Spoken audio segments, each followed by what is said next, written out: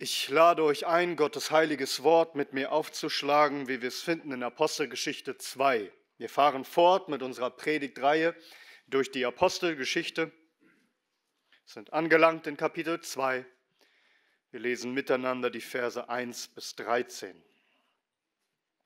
Apostelgeschichte Kapitel 2 ab Vers 1. Und hier heißt es in Gottes heiligem Wort. Und als der Tag der Pfingsten erfüllt wurde, waren sie alle an einem Ort beisammen. Und plötzlich kam aus dem Himmel ein Brausen, wie von einem daherfahrenden gewaltigen Wind, und erfüllte das ganze Haus, wo sie saßen. Und es erschienen ihnen zerteilte Zungen wie von Feuer, und sie setzten sich auf jeden einzelnen von ihnen. Und sie wurden alle mit heiligem Geist erfüllt und fingen an, in anderen Sprachen zu reden, wie der Geist ihnen gab, auszusprechen. Es wohnten aber in Jerusalem Juden, gottesfürchtige Männer aus jeder Nation unter den Himmel. Als sich aber die Kunde hiervon verbreitete, kam die Menge zusammen und wurde bestürzt, weil jeder Einzelne sie in seiner eigenen Mundart reden hörte. Sie gerieten aber alle außer sich und verwunderten sich und sagten, siehe, sind nicht alle diese, die da reden, Galiläer? Und wir hören wir sie, jeder in unserer eigenen Mundart, in der wir geboren sind. Parther und Meder, Elamiter, die Bewohner von Mesopotamien, sowohl von Judäa als auch von Kappadokien, Pontus und Asien. Pontus und Asien, sowohl von Phrygien als auch von Pamphylien, Ägypten und dem Gebiet von Libyen gegen Kyrene hin und die hier weilenden Römer, sowohl Juden als auch Proselyten, Kreter und Araber. Wir hören sie den großen Taten Gottes in unseren Sprachen reden.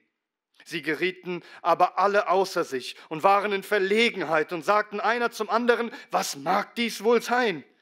Andere aber sagten spottend, sind sie voll von süßem Wein. Amen. Amen. Lasst uns beten. Unser großer Herr und Gott, wir wollen deinen Namen, deine großen Taten verkündigen. Wir staunen über dich und wir rühmen dich. Und wir wollen dich in aller Demut bitten, dass du nun noch Großes an uns allen wirkst. Wir beten es in Jesu Namen. Amen. Amen. Nehmt gerne Platz. Die allermeisten, wenn nicht alle, haben schon von Pfingsten gehört. Wir haben ja bald sogar diese beiden Feiertage, Pfingsten. Die Frage ist aber nicht nur, ob du Pfingsten kennst, sondern ob du verstanden hast, was Pfingsten wirklich bedeutet. Und diese Frage, die wird ja auch in unserem Text gestellt, Vers 12. Sie gerieten aber alle außer sich und waren in Verlegenheit und sagten einer zum anderen, was mag dies wohl sein? Was hat das zu bedeuten, was sie hier erleben? Was bedeutet dieses Pfingstereignis? Wir hören dann, wenn wir weiterlesen würden, auch die Erklärung des Apostels Petrus. Und die werden wir uns dann ein anderes Mal anschauen. Aber bereits in dem Text, den wir heute gelesen haben, wo einfach die Ereignisse zu Pfingsten beschrieben werden, hier steckt schon so viel drinne, was uns die enorme Bedeutsamkeit von Pfingsten lehrt was hier geschieht, ist gewaltig. Und wir wollen uns einfach diesen Text anschauen, Vers für Vers, und sehen, was wir hier lernen können. Vers 1.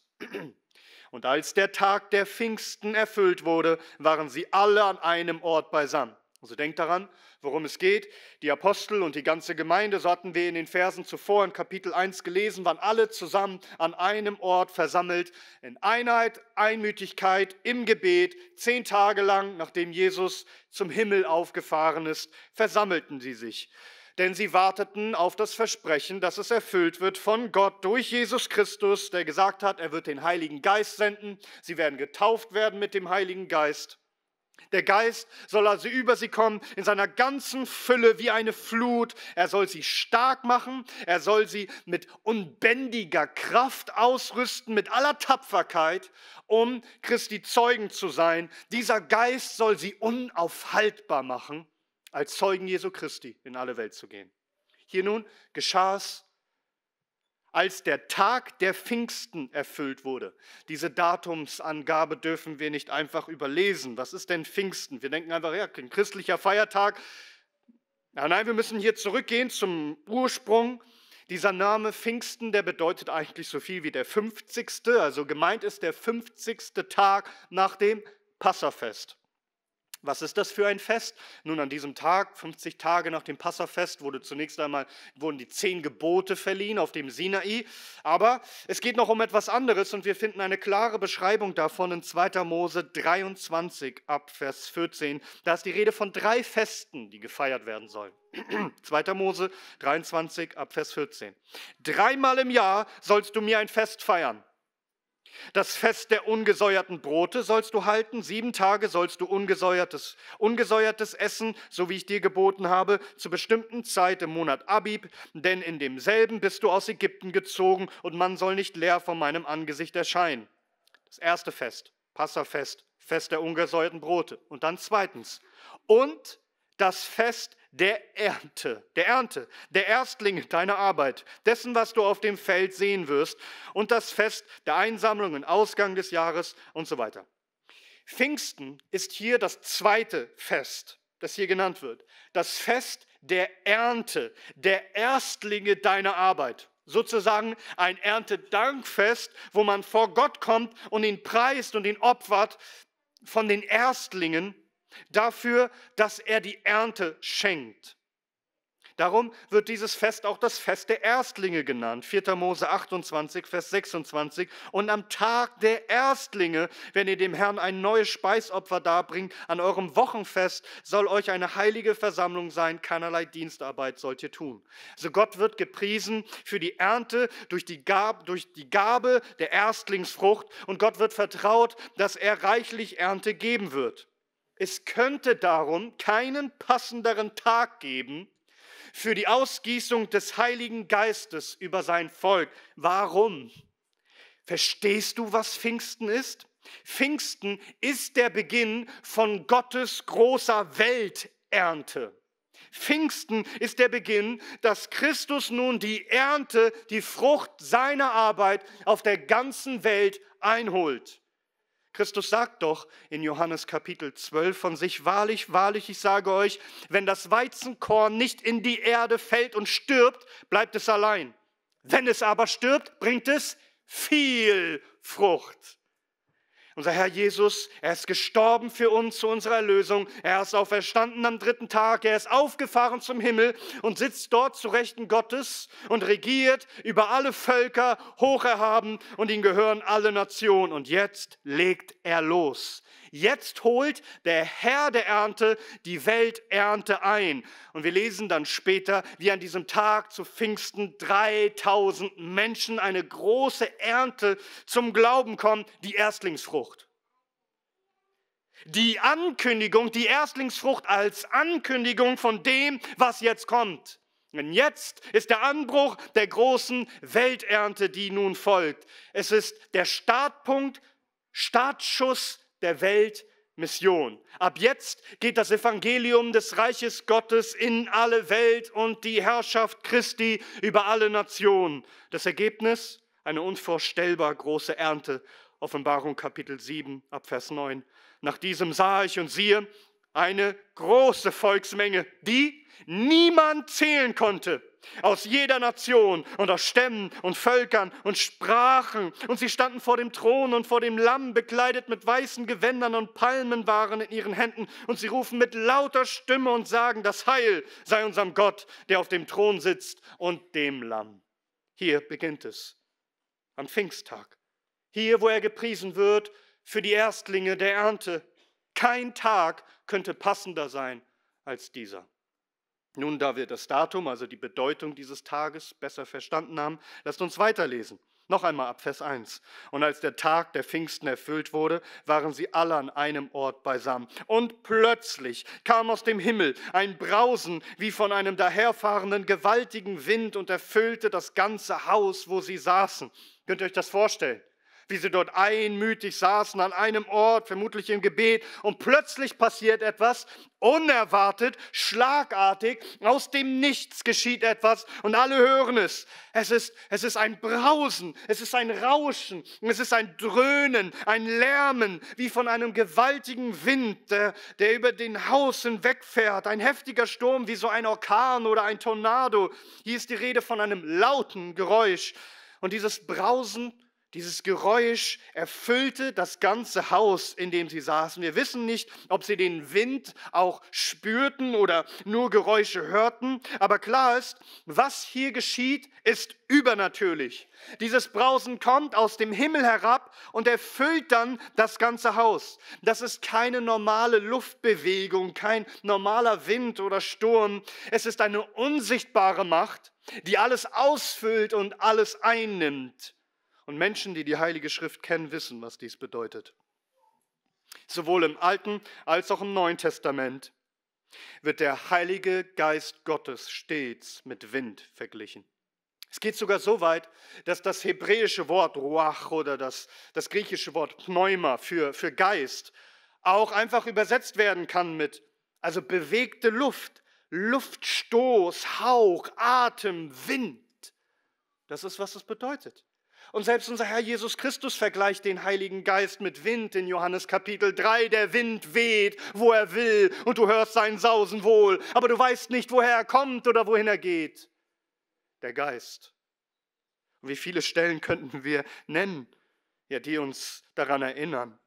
Immer bei besonderen Momenten, wo Gott etwas Neues und Gewaltiges tut. In, Genesis 1 lesen wir schon bei der Schöpfung, wie der Geist, wie der Wind Gottes schwebte über der Finsternis, über dem Wasser und wie Gott seinen Hauch, seinen Atem, seinen Lebensatem die Menschen einbläst. Und dann nach der Sintflut heißt es, dass ein gewaltiger Wind fegte, ein Wind Gottes fegte über die Erde, um eine erneuerte Erde zu bereiten, Genesis 8. Dann denkt an diesen rauschenden, mächtigen Wind, der die ganze Nacht hindurch wehte und dafür sorgte, dass die Wassermassen des Meeres sich auftürmten wie Mauern und Israel trockenen Fußes hindurchziehen konnte. Exodus 14. Denk an Ezekiel, an diesen mächtigen Geistwind, der diese staubtrockenen, toten Gebeine wieder zu einer lebendigen Armee ja, lebendig macht, wiederherstellt. Hesekiel 37. So auch hier. Gott wirkt etwas Neues, eine neue Ära für diese Erde. Es ist die Befreiung aus der Gefangenschaft der Finsternis, die Wiederbelebung Israels, dass eine Armee aufstehe des Herrn und der ganzen Welt verkündige, dass Christus herrscht. Der Wind bedeutet, Gottes Geist kommt und erfüllt das Haus, ja, er erfüllt die Christen nicht mit menschlicher Kraft, sondern mit Geisteskraft. Sacharja Kapitel 4. Nicht durch Macht und nicht durch Kraft, sondern durch meinen Geist, spricht der Herr der Heerscharen. Der Herr lehrt uns durch dieses Geräusch, dass das, was nun geschieht, etwas Starkes, etwas Mächtiges ist. Es erinnert uns daran, dass Christus Kraft versprochen hat. Lukas Kapitel 24. Und siehe, ich sende die Verheißung meines Vaters, spricht Christus, auf euch. Ihr aber bleibt in der Stadt, bis ihr bekleidet werdet mit Kraft aus der Höhe. Es ist Gottes Kraft aus dem Himmel, der herabkommt auf sie und alle seine Jünger erfüllt. Die Innewohnung durch den Heiligen Geist, göttliche Energie für den göttlichen Auftrag. Kraft wozu? Apostelgeschichte 1, Vers 8. Ihr erinnert euch? Aber ihr werdet Kraft empfangen, wenn der Heilige Geist auf euch gekommen ist und ihr werdet meine Zeugen sein, sowohl in Jerusalem als auch in ganz Judäa und Samarien bis an das Ende der Erde. Also, himmlische Kraft, um hier auf Erden den Mund aufzumachen und mit der Zunge zu verkündigen, dass Christus herrscht. Und darum verwundert es uns auch nicht, dass wir nun weiterlesen, Vers 3 und es erschienen ihnen zerteilte Zungen wie von Feuer, und sie setzten sich auf jeden einzelnen von ihnen. Also die Sache mit dem Wind im Haus, das war schon außergewöhnlich, doch jetzt wird es wirklich sonderbar und spektakulär. Man könnte ja noch irgendwie versuchen, diese Windgeräusche wegzuerklären zu wollen, doch hierfür gibt es keine natürliche Erklärung. Jetzt gibt es eine sichtbare Erscheinung, die niemand wegerklären kann. Es erschienen ihnen zerteilte Zungen wie von Feuer, die sich auf jeden einzelnen setzten. Äh, was geschieht hier? Was bedeutet das? Zerteilte Feuerzungen? Der Herr veranschaulicht nun, was es genau bedeutet, was sie dort erleben. Er zeigt ihnen sichtbar, was sie unsichtbar erleben, dass sie es begreifen. Der Geist kommt, um ihnen feurige Zungen zu verleihen. Achtung, Feuer ist hier nur ein Vergleich. Es war wie Feuer. Nicht es war Feuer, sondern es war wie Feuer. So wie als der Heilige Geist herabkam auf unseren Herrn Jesus bei seiner Taufe, wie eine Taube, nicht eine echte Taube aus Fleisch und Blut. In Gestalt einer Taube, wie eine Taube. Der, der Geist, er erscheint hier in Form von, von vielen einzelnen Feuerzungen. Das heißt, diese Zungen, sie flackerten, sie leuchteten, sie waren wie, wie brennendes Feuer und sie waren zerteilte Zungen. Das meint nicht gespaltene Zungen wie bei einer Schlange. Zerteilte Zungen meint hier Zungen, die sich zerteilen. Also nochmal Vers 3, und es erschienen ihnen zerteilte Zungen wie vom Feuer. Wörtlich, sich zerteilende Zungen erschienen. Diese Zungen, sie multiplizieren sich, sie zerteilen sich, dass sie auf jeden einzelnen der Jünger sich setzen. Der Geist, er kommt nicht auf einige von ihnen, sondern auf alle. Dieser Geist, er, er teilt jeden Einzelnen aus, jedem Einzelnen zu. Und das Feuer, das lehrt uns, wir haben es hier eindeutig mit etwas Göttlichen, Himmlischen zu tun. Diese Feuererscheinungen, sie kommen immer wieder im Alten Testament vor, denn diese Feuererscheinungen sind die sichtbare Manifestation Gottes heiliger Gegenwart, denn unser Herr ist ein verzehrendes Feuer. Wie viele Bibelstellen wollen wir nennen? Denk einmal an Genesis 15, wo Abraham sieht, wie Feuerflammen, wie der Herr durch diese Opferstücke hindurchgeht. Oder denk an Mose, wie er den brennenden Dornbusch sieht. Denk an die Erscheinung Gottes am Sinai, 2. Mose 24, Vers 17. Die Erscheinung der Herrlichkeit des Herrn aber war vor den Augen der Söhne Israel wie ein verzehrendes Feuer auf dem Gipfel des Berges. Wenn der Herr hier Zungen wie Feuer sendet, die sich auf jeden einzelnen setzen, heißt das, dass der heilige, herrliche Gott selbst mit seinem heiligen Geist, mit seiner heiligen Gegenwart sich auf jeden einzelnen setzt, auf ihn ruht, um bei ihm zu bleiben. Um ihnen göttliche Zungen zu verleihen, das heißt göttliche Redekraft und Zeugenkraft.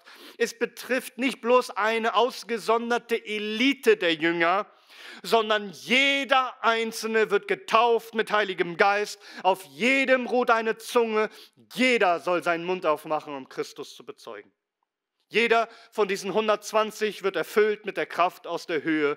Darum geht es bei Pfingsten. Um Weltmission, um das Einholen der Ernte dieser Erde. Wie? Auf diese eine Weise Menschen erfüllt mit dem Heiligen Geist, mit der Kraft aus der Höhe, um eine heilige himmlische Botschaft dieser Welt zu verkündigen um so die ganze Welt zu entzünden für Christus, dass das Wort Gottes sich ausbreitet, das heilige Evangelium, die frohe Botschaft von Christi Herrschaft, dass sie sich ausbreitet wie ein Lauffeuer auf dieser Erde. Sie werden erfüllt mit Geisteskraft. Sie werden erfüllt mit dem Heiligen Geist, um einen erfüllten Mund zu haben mit dem Christuszeugnis, göttliche Befähigung, die Zunge zu benutzen für den König Jesus Christus. Vers 4. Und sie wurden alle mit Heiligem Geist erfüllt und fingen an, in anderen Sprachen zu reden, wie der Geist ihnen gab, auszusprechen. Noch einmal, worum geht es bei Pfingsten? Darum, dass Menschen durch den Heiligen Geist sprechen von Gott und alle Welt soll es hören. Und so verwundert es uns auch nicht, dass der Heilige Geist ihnen hier andere Sprachen verleiht. Das heißt Fremdsprachen, nicht Hebräisch oder Aramäisch, was sie sprachen, sondern Sprachen aus anderen fernen Nationen, Fremdsprachen, die sie nicht erlernt hatten, sondern plötzlich ohne erlernte Sprachkenntnisse diese ausländischen Sprachen zu sprechen, und zwar fließend. Manche denken, es geht hier bloß um ein Hörwunder. Also Gott tut nicht das eigentliche Wunder an den Sprechenden, sondern an den Hörenden. Also die Jünger sprachen dann zwar Aramäisch oder Hebräisch, aber alle hörten sie halt in ihren eigenen Sprachen. Nein, das ist nicht das, was hier steht. Es heißt, sie fingen an, in anderen Sprachen zu sprechen. Das ist nicht ein Hörwunder, das ist ein Sprachwunder. Der Herr lässt sie sprechen in vielen verschiedenen Fremdsprachen. Und was reden sie denn? Wenn ihr mal schaut, Vers 11, sowohl Juden als auch Proselyten, Kreter und Araber, wir hören sie die großen Taten Gottes in unseren Sprachen reden. Das ist also, was Pfingsten aussagt. Gott wird nun gepriesen in allen Sprachen dieser Welt. Christus, ihm gehören alle Nationen, alle Völker der Erde, alle Volksgruppen, alle Sprachgruppen. Und die großen Taten des Herrn sollen nun verkündigt werden in jeder eigenen Sprache dieser Nation. Überall sollen es Menschen hören, wer der Herr ist und was er tut. Hier zu Pfingsten ist diese Ankündigung, dieser Startschuss. Jetzt wird es geschehen. Jetzt werdet ihr sehen, dass es sich wie ein Lauffeuer verbreitet und in allen Sprachen und Nationen wird der Herr von nun an gepriesen. Was hier geschieht in Jerusalem, ist sozusagen ein Mikrokosmos von dem, was passieren soll auf der ganzen Welt. Feurige Zungen kommen und rüsten sie aus mit Zungen, um den Herrn zu verkündigen. Sie sprechen den Lobpreis Gottes in Sprachen, die sie nie erlernt haben. Und das bedeutet, Gott wird nun gepriesen in Sprachen, von denen er bisher nicht gepriesen wurde. Jetzt beginnt es. Verstehst du, was für eine gewaltige Bedeutung Pfingsten hat? Wenn wir von ja, zerteilten Zungen hören und von all den Sprachen, dann, dann denken wir natürlich ganz zurück an den Anfang, an Babel und den Turmbau in Genesis 11, wo der Herr herabkommt, um die Sprachen der Menschen zu verwirren. Und da heißt es in 5. Mose 32, als der Höchste den Nationen das Erbe austeilt, als er sie voneinander schied, die Menschenkinder, da stellte er die Grenzen der Völker fest. Der Herr hatte einst ein Gericht gebracht über die Menschen und hat aus ihnen einzelne Nationen gemacht und Sprachgruppen, dass sie einander nicht mehr verstehen konnten. Siehe, jetzt wirkt er etwas Neues. Alle Sprachen sollen es nun hören und jeder soll es verstehen. Diese Botschaft geht hinaus an alle Menschen. Er hat die Zeiten der Unwissenheit übersehen, aber jetzt gebietet er allen Menschen überall, dass sie Buße tun sollen und glauben sollen an Christus, den er eingesetzt hat als Richter über die Lebenden und die Toten. Dazu hat der Herr hier nun in Jerusalem diesen Mikrokosmos geschenkt, wie er alle Menschen aus den verschiedenen Nationen sammelt und sie sind an einem Tag anwesend in Jerusalem, sozusagen als Repräsentanten dieser Nation, in denen sie geboren worden sind. Vers 5. Es wohnten aber in Jerusalem Juden, gottesfürchtige Männer aus jeder Nation unter dem Himmel. Jerusalem war sowieso eine internationale Stadt, allein vom Handel her, aber, aber jetzt war auch noch gerade ein Fest. Und viele Juden, die sonst auch verstreut überall gelebt haben auf der Erde, kamen nach Jerusalem. Sie lebten dort und aus jeder Nation unter den Himmeln kamen sie herbei. Gottesfürchtige Männer. Das waren Juden, die durchaus Hebräisch konnten, aber sie waren in anderen Ländern geboren. Sie sind auch geboren mit der jeweiligen Landessprache, die sie erlernt haben. Und der laute Sturmwind wohl auch das laute Ausrufen von einer großen Gruppe von 120 Menschen, die plötzlich in einer anderen Sprache sprachen, ja, das sorgte für Aufsehen, das wurde irgendwie schnell zum Stadtgespräch, also eilen sie alle herbei. Ab Vers 6. Als sich aber die Kunde hiervon verbreitete, kam die Menge zusammen und wurde bestürzt, weil jeder einzelne sie in seiner eigenen Mundart reden hörte. Sie gerieten aber alle außer sich und verwunderten sich und sagten, siehe, sind nicht alle diese, die da reden, Galiläer? Und wie hören wir sie? Jeder in unserer eigenen Mundart, in der wir geboren sind. Also, diese Männer, sie können es nicht fassen. Sie haben irgendwie erfahren, dass diese Leute vor allem aus Galiläa sind. Das heißt, in ihren Denken eigentlich Hinterwäldler, Leute, die nicht irgendwelche ausländischen Sprachen beherrschen, sondern einheimische Juden, nicht so wie sie, Ausländer, Gelehrte, internationale Menschen.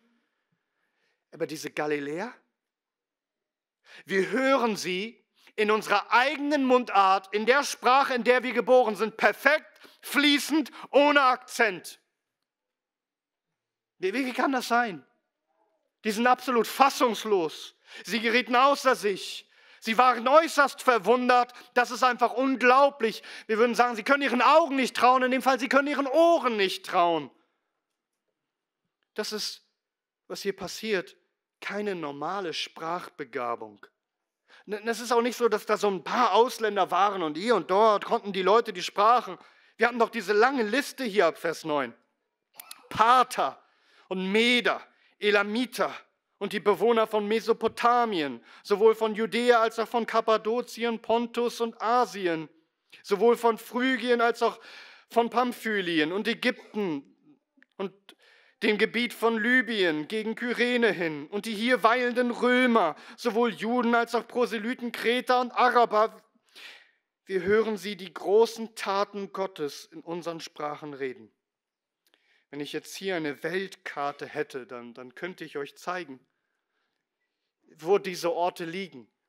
Und, und ihr werdet sehen, die kommen einfach aus allen Himmelsrichtungen, äh, von überall her.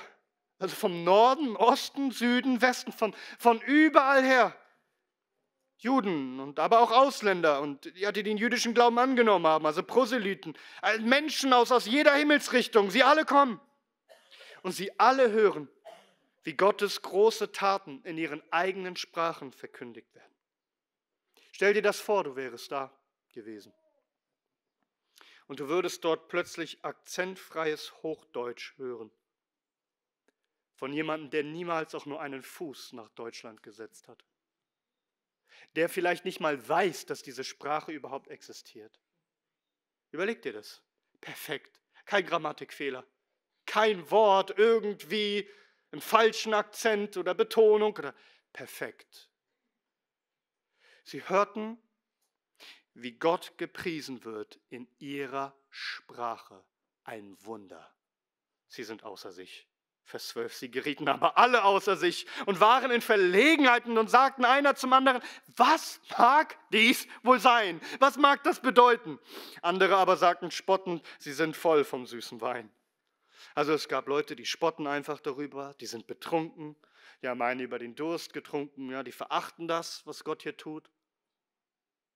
Aber da sind andere, die sind völlig perplex, die, sind, die geraten außer sich und sie fragen sich, was bedeutet es? Denn klar ist, das, was hier geschieht, ist nicht gewöhnlich, nicht alltäglich, nicht normal. Das hier ist bedeutsam für alle, die das miterleben. Ist klar, das muss ein göttliches Zeichen sein. Ein Vorzeichen? Was bedeutet das? Bedeutet das was Gutes? Was ist das, was hier passiert? Was mag dies wohl sein? Die Antwort, es ist die offizielle Ankündigung, dass der Herr nun alle Nationen zu Jüngern macht. Jetzt werden die Völker den Herrn preisen. Jetzt geht es los. Jetzt werden die uralten Prophezeiungen erfüllt, wie im Psalm 22. Alle Enden der Erde werden sich erinnern und zum Herrn umkehren. Und vor dir werden niederfallen alle Geschlechter der Nationen. Denn des Herrn ist das Reich und unter den Nationen herrscht er. Nun, wenn wir jetzt grundsätzlich verstanden haben, worum es bei Pfingsten geht, lasst uns dieses Wissen noch etwas mehr vertiefen. Und jetzt kommen wir im Grunde mehr in eine Lehrstunde hinein. Denn wir wollen das Ganze, was wir hier gelesen haben, noch ein bisschen ausführlicher verstehen. Und zunächst einmal möchte ich dazu sagen, sei nicht kindisch, denk nicht kindisch. Es heißt in 1. Korinther 14, Vers 20, Brüder, werdet nicht Kinder am Verstand, sondern an der Bosheit seid Unmündige, am Verstand aber werdet Erwachsene. Also seid keine Kinder am Verstand. Stellt euch mal vor, ein großes Einkaufszentrum wird eröffnet, vielleicht in eurer Nähe. Und es wird ein roter Teppich ausgebreitet und vielleicht kommen Prominente oder vielleicht auch Politiker, vielleicht der Bürgermeister. Ja, es wird ein Feuerwerk gemacht und laute Musik, es gibt Gratisgeschenke und das rote Band wird offiziell vom Bürgermeister durchgeschnitten. Und stell dir mal vor, du kommst jetzt ein paar Monate später und betrittst das Einkaufszentrum. Sag, würdest du dich fragen, wo ist eigentlich der Bürgermeister? Wo ist eigentlich die große Bühne? Wo ist eigentlich das rote Band und der rote Teppich? Und ich dachte, es gibt Feuerwerk. Nein, solch eine Frage würdest du nicht stellen, oder? Solche Fragen stellen Kinder. Ich kann euch garantieren, meine Kinder würden das fragen. Wo ist der rote Teppich hin? Und du erklärst dem Kind, Schatz, das war eine Eröffnungsfeier. Das war der Startschuss. Also das war was Besonderes. Das machen die nicht jede Woche. Und das versteht auch jeder. Es ist ein besonderer Moment, wo viel Lärm und Trubel gemacht wird, damit viel Aufmerksamkeit kommt, damit man versteht, hier ist etwas Neues. So, und mit dieser Information im Hinterkopf, vielleicht hilft uns das ein bisschen besser, gewisse Ereignisse in der Heiligen Schrift zu verstehen. Nun, in der Bibel werden keine Einkaufszentren, äh, Einkaufszentren eröffnet. In der Bibel geht es um wirklich wichtige Dinge, gewaltige Dinge. Aber es gibt besondere Momente, wo Gott Besonderes tut und wo er etwas Neues eröffnet. Wenn Gott etwas Besonderes tut, dann begleitet er das Ganze mit besonderen Phänomenen, die uns helfen, um, um zu erkennen, wie besonders und wichtig der Moment ist. Gott schenkt spezielle, spektakuläre, sensationelle, atemberaubende und auch furchteinflößende, herrliche Dinge, die bestimmte Ereignisse in seiner Heilsgeschichte begleiten. Stell dir, also denk zum Beispiel an die Vergabe der zehn Gebote. Was für ein besonderer Moment wo das demonstriert wurde, wie heilig und besonders dieses Ereignis war, mit Donner und Blitz und dunklen Wolken und Posaunenschall und Erdbeben und lauter Stimme und Feuer. Alle haben verstanden, was jetzt passiert, ist wirklich gewaltig, wirklich bedeutsam. Wir sollten uns fürchten und erkennen, wie heilig dieser Moment ist. Sag, muss Gott noch einmal donnern und Feuer senden und Posaunenschall und all das, um zu verstehen, dass die heiligen zehn Gebote heilig sind und dass du sie halten solltest? Oder reicht das, dass er das einmal getan hat? Oder denk an die Einweihung des Tempels unter Salomo, ein riesiges Fest, ich glaube, es ging über oder 14 Tage lang. Der, der König sprach dieses Einweihungsgebet und Gottes Herrlichkeit kam herab, sichtbar so dass der ganze Tempel erfüllt wurde und die Tempeldiener, die Priester nicht einmal in den Tempel reingehen konnten, weil die Herrlichkeit so stark manifestiert war. Irgendwann war die Einweihungsfeier vorbei und die Tempeldiener konnten hineingehen. Niemand rechnete mehr damit, dass das jeden Tag so sein muss. Denk an die Geburt Jesu. Es gab diesen Stern zu Bethlehem, besondere Zeichen, diese Begleitungs Begleiterscheinungen von der Geburt Christi, eine riesige Schar am Himmel. Sag, blieb der Stern über Jesus? Blieben die Engel dort weiterhin? Nein, das gehörte zur Öffnung, zu der Einführung Jesu Christi, zu seiner Geburt. Denk an die Taufe Jesu. Johannes sah, wie die, wie die Taube herabkam, der Heilige Geist herabkam und die Stimme kam aus dem Himmel. Der Dienst Jesu wurde offiziell eröffnet. Ich, ich denke, ihr versteht das Prinzip, oder? Viele Beispiele für ein biblisches Prinzip. Es gibt besondere Ereignisse in der Heilsgeschichte Gottes, die mit besonderen Phänomenen begleitet werden. Und diese Erscheinungen symbolisieren, veranschaulichen, veranschaulichen in diesem besonderen Moment, was geschieht. Aber diese Phänomene bleiben nicht einfach. Was hier geschieht am Pfingsttag ist einzigartig und ein unwiederholbares Ereignis in der Menschheitsgeschichte. Hier eröffnet Gott etwas Neues. Pfingsten ist die offizielle Eröffnung der Weltmission in der Kraft des Geistes, dass die Herrschaft Christi nun ausgerufen wird über alle Nationen und alle Nationen unter dem Himmel nun Rettung finden können durch den Glauben an den Sohn Gottes. Das Zeugnis von Jesus Christus soll nun durch alle Welt gehen. Und dieses besondere Ereignis, dieser Startschuss der Weltmission wird begleitet mit besonderen Begleitphänomenen. Diese Begleitphänomene sind Zeichen, Symbole, Signale, um den richtigen Moment, um diesen Moment richtig zu verstehen. Hörbar, vielleicht auch spürbar, ein Tosen, Sichtbar die einzelnen Zungen, die sich setzen auf jeden einzelnen, hörbar, wie der Lobpreis Gottes nun in verschiedenen Sprachen verkündigt wird. Was haben diese Phänomene zu bedeuten? Noch einmal, der laute Wind, dieses Rauschen zeigt uns, jetzt kommt gewaltige, unbändige Kraft des Heiligen Geistes auf uns herab.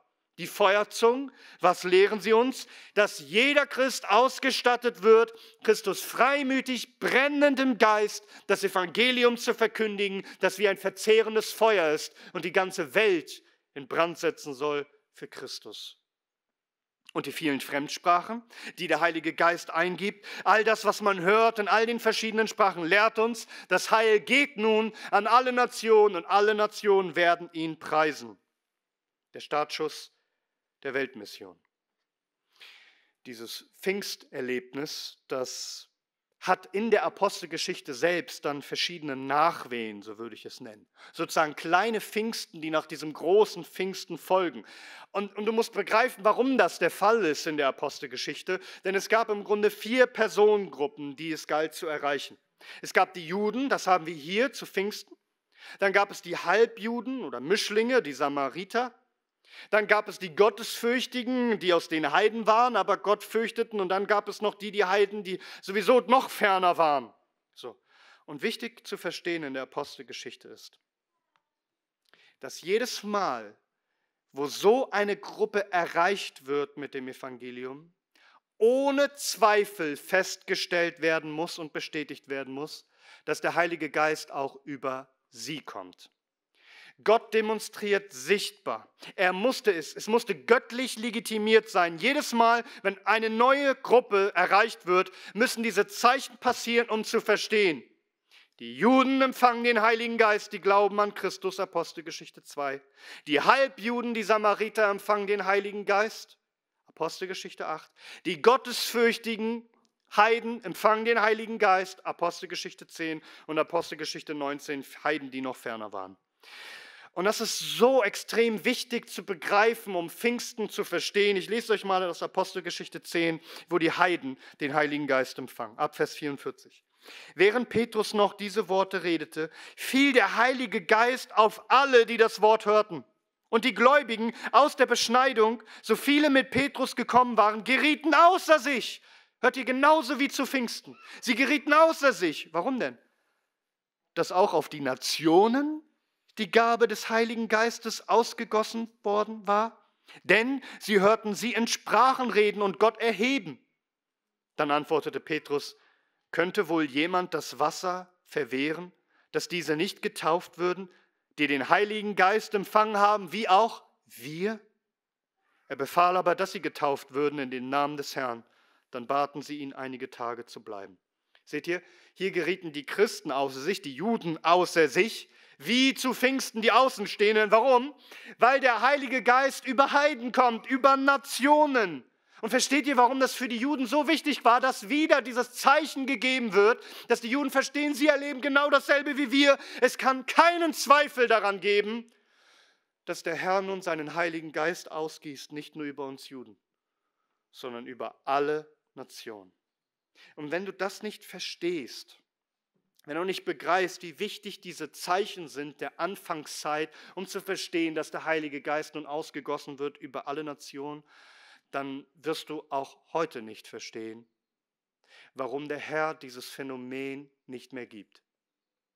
Nicht, weil er es nicht könnte, dem Herrn sind alle Dinge möglich, sondern was bedeutet Sprachenrede? Was bedeutet es? 1. Korinther Kapitel 14 ab Vers 20. Brüder, werdet nicht Kinder am Verstand, sondern an der Bosheit seid Unmündige, am Verstand aber werdet Erwachsene. In dem Gesetz steht geschrieben, ich will in anderen Sprachen und durch andere Lippen zu diesem Volk reden, und auch so werden sie nicht auf mich hören, spricht der Herr. Daher sind die Sprachen, gemeinte Sprachenrede, der wichtigste Vers überhaupt, um Sprachenrede zu verstehen. 1. Korinther 14, Vers 22. Daher sind die Sprachen zu einem Zeichen, nicht den Glaubenden, sondern den Ungläubigen. Die Weissagung aber nicht den Ungläubigen, sondern den Glaubenden. der Punkt ist so enorm wichtig zu begreifen. Sprachenrede bedeutet, Gott lässt sich jetzt preisen in den Sprachen dieser Welt. Und dies ist ein Gerichtszeichen über Israel. Warum? Weil Gott sprach in verständlicher Weise durch viele Propheten, am Ende sogar durch seinen Sohn zu ihnen, und sie wollten nicht hören. Wie viele auch zu ihnen sprachen in ihrer eigenen Sprache, sie konnten es verstehen und wollten sich doch nicht bekehren und glauben. Darum wendet Gott sich nun den Nationen zu. Und zu Israel spricht er in unverständlichen Fremdsprachen, den Sprachen der Nationen hören sie und verstehen doch nicht.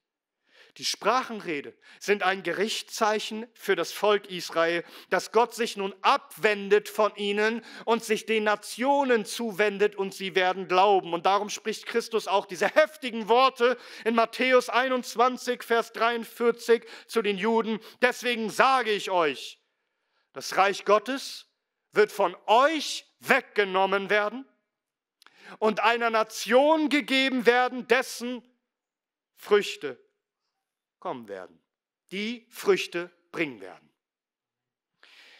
Wenn Gott sich nun preisen lässt in anderen Sprachen, dann weil Israel ihn nicht gepriesen hat für seinen Sohn. Ich habe auf verständliche Weise zu euch gesprochen und ihr wolltet nicht hören. Jetzt rede ich in den Sprachen der Nation und sie werden hören und sie werden kommen und die Enden der Erde werden sich mir zuwenden und gerettet werden. Paulus spricht so viel davon in Römer Kapitel 10 und auch 11, wenn ich mal lese aus Römer 10 ab Vers 18. Aber ich sage euch, haben Sie etwa nicht gehört? Oh doch. Ihr Schall ist ausgegangen zu der ganzen Erde und ihre Sprache zu den Grenzen des Erdkreises. Aber ich sage, hat Israel es etwa nicht erkannt?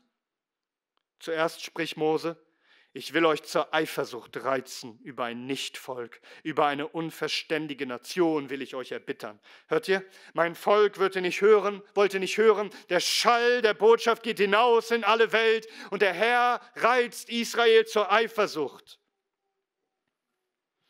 Manche wollen nun fragen, aber wenn Sprachenrede doch ein Gerichtszeichen für Israel war, weil sie nicht glaubten und Gott sich nun preisen lässt in anderen Sprachen, warum gab es dann in Korinth, also in Griechenland, eine Gemeinde, wo so viel in Sprachen geredet wurde? Das macht doch keinen Sinn. Nun, ich empfehle dir Apostelgeschichte 18 zu lesen, denn wenn es irgendwo außerhalb von Jerusalem nötig war, dass dieses Gerichtszeichen gegeben wurde, der Sprachenrede gegen die Juden dann in Korinth, also hier hatte Paulus mit den heftigsten Konflikt mit den Juden. Ich lese einmal aus Apostelgeschichte 18 ab Vers 4.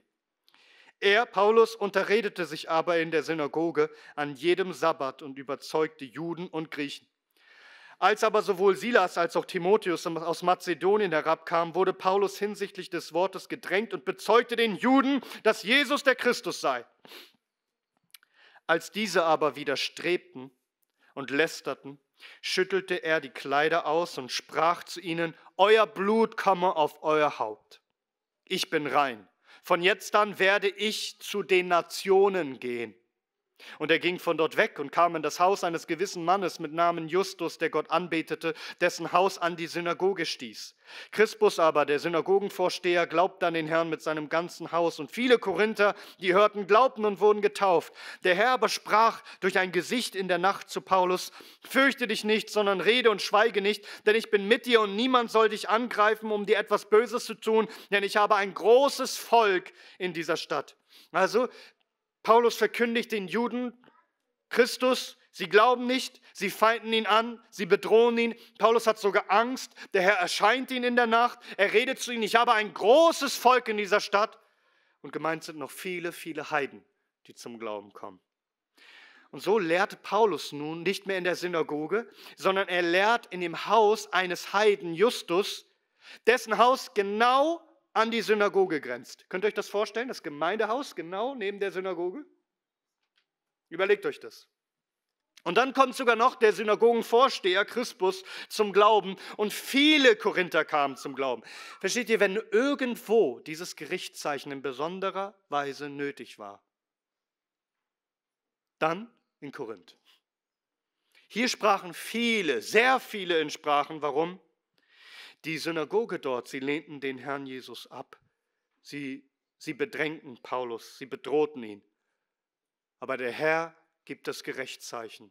Er wird gepriesen werden in allen Sprachen dieser Erde. Ihr wollt nicht hören, sie werden hören. Und so auch später in Antiochia, wir lesen das immer wieder in der Apostelgeschichte, Apostelgeschichte 13 ab Vers 42. Und als sie aber hinausgingen, baten sie, dass am folgenden Sabbat diese Worte zu ihnen geredet würden. Als, er aber die, als aber die Synagoge aus war, folgten viele der Juden und der anbetenden Proselyten Paulus und Barnabas, die zu ihnen sprachen und ihnen zuredeten, in der Gnade Gottes zu verharren. Am nächsten nächsten Sabbat aber versammelte sich fast die ganze Stadt, um das Wort Gottes zu hören. Hast du das gehört? Die ganze Stadt. Als aber die Juden die Volksmengen sahen, was so viele von den Heiden, wurden sie von Eifersucht erfüllt und widersprachen dem, was von Paulus geredet wurde, und lästerten. Und Paulus und Barnabas äußerten sich freimütig und sprachen, zu euch musste notwendigerweise das Wort Gottes zuerst geredet werden, weil, es aber, weil ihr es aber von euch stoßt und euch selbst des ewigen Lebens nicht für würdig geachtet. Siehe, so wenden wir uns zu den Nationen. Denn so hat uns der Herr geboten, ich habe dich zum Licht der Nationen gesetzt, damit du zum Heil seiest bis an das Ende der Erde. Als aber die aus den Nationen es hörten, freuten sie sich und verherrlichten das Wort des Herrn und es glaubten so viele zum ewigen Leben bestimmt waren. Und das Wort des Herrn aber wurde durch die ganze Gegend verbreitet. Die Juden aber erregten die anbetenden vornehmen Frauen und die Ersten der Stadt und erweckten eine Verfolgung gegen Paulus und Barnabas und vertrieben sie aus ihrem Gebiet. Sie aber schüttelten den Staub von ihren Füßen gegen sie ab und kamen nach Ikonien. Wieder dieselbe Sache. Die Juden wollen nicht glauben, Paulus wendet sich den Nationen zu. Und noch ein Beispiel dann am Ende der Apostelgeschichte, Apostelgeschichte 24, ab Vers 24. Der Apostelgeschichte 28, ab Vers 24. Und einige wurden überzeugt von dem, was gesagt wurde, andere aber glaubten nicht. Als sie aber unter sich uneins waren, gingen sie weg, als Paulus ein Wort sprach. Treffend hat der Heilige Geist durch Jesaja, den Propheten, zu unseren Vätern geredet und gesagt: Geh hin zu diesem Volk und sprich: Hörend werdet ihr hören und nicht verstehen. Und sehend werdet ihr sehen und nicht wahrnehmen. Denn das Herz dieses Volkes ist dick geworden und mit den Ohren haben sie schwer gehört und ihre Augen haben sie verschlossen, damit sie nicht etwa mit den Augen sehen und mit den Ohren hören und mit dem Herzen verstehen und sich bekehren und ich sie heile. Es sei euch nun kund, dass dieses Heil Gottes den Nationen gesandt worden ist und sie werden auch hören. Sie werden hören indem Gott sich hier zu Pfingsten preisen lässt, in all diesen Sprachen, auch in Korinth, heißt das, die Nationen werden Gott preisen. Dieses Evangelium ist unaufhaltsam, es wird sich ausbreiten und an jedem Ort wird man den Namen des Herrn anrufen. Und es ist ein Zeichen über Israel, weil sie nicht glaubten. Aber für Paulus der mehr in Sprachen redete als alle anderen? Was meint ihr, was bedeutete es für ihn? 1. Korinther 14, Vers 18, Paulus sagt, ich danke Gott, ich rede mehr in Sprachen als sie alle. Überleg einmal. Paulus in der Synagoge, er wird abgelehnt, er wird von den Juden verfolgt, darum landet er am Ende dann auch in Rom im Gefängnis. Er hat das klare Wort gepredigt, sie wollen nicht hören, er muss vieles erleiden. Stell dir vor, wie ihn das belastet hat, immer wieder von seinem eigenen Volk so bedrängt zu werden. Doch er betet und plötzlich preist er Gott in Sprachen, in wahren, realen, nicht ausgedachten Sprachen, in wahren, realen Sprachen von Nationen, wo er niemals war. Paulus war eingesetzt als Apostel der Nation. 1. Timotheus 2, 2. Timotheus 1, Römer 1, Römer 11 und so weiter. Die Juden hörten nicht aber er ist eingesetzt als Apostel über die Nation. Er wird hingehen zu ihnen und sie werden hören. Sie werden ihn preisen. Also niemand musste dieses Gerichtszeichen gegen die Juden mehr geben als Paulus, denn niemand wurde so verfolgt von den Juden wie Paulus. Immer wieder, wenn er verfolgt wurde, konnte er sprechen, als er betete in anderen Sprachen als Gerichtszeichen über sie. Aber überlegt euch mal, Jedes Mal, wenn er wie im Korinth fast aufgeben wollte, weil er so bedrängt wurde. Und stellt euch vor, wie er betet und plötzlich spricht er in Sprachen. Da gibt es Nationen. Sie werden mich preisen. Geht zu ihnen. Du bist der Apostel der Nation. Sie werden hören, sie werden glauben. Und die Gemeinde Jesu wird sich ausbreiten auf dieser Welt in jedem Volk. Verstehst du darum auch, warum Sprachenrede heute nicht mehr nötig ist? Vielleicht nimmst du Anstoß an dem, was ich sage. Aber Paulus sagt in 1. Korinther 13, Vers 8, Sprachenrede werden aufhören. Man kann auch einfach übersetzen mit allmählich abklingen oder immer mehr zur Ruhe kommen. Warum denn? Nun, weil das Evangelium des Herrn Jesus Christus gepredigt wurde auf der ganzen Welt. Überall wurden und werden Gemeinden gegründet, Jetzt muss es nicht mehr angekündigt werden, versteht ihr? Jetzt ist es eine Realität. Jetzt ist es erfüllt. Überall auf der Erde wird Christus in den Fremdsprachen angebetet. Überall sind Gemeinden entstanden. Das Zweck, das Ziel dieser, dieses Zeichens, dieser Sprachenrede ist doch erreicht. Die Juden sehen doch nun überall. Ich meine, man kann es nicht mehr irgendwie verleugnen, man kann auch nicht mehr dagegen kämpfen. Es ist überall offenkundig. Die Heiden sind zu Christus gekommen, dem Messias. Überall sind Gemeinden, die den Gott Abrahams und Isaaks und Jakobs anbeten. Sprachenrede war ein Phänomen, welches die Anfangszeit der Weltmission begleitete und dann immer mehr abgeklungen ist. Denn der Sinn und Zweck dieser wundersamen Gabe ist erfüllt worden. Nicht, weil Gott diese Gabe nicht mehr geben könnte. Unser Gott ist derselbe gestern, heute und in alle Ewigkeit. Wenn er will, kann er dich heute in Chinesisch sprechen lassen. Das ist nicht der Punkt.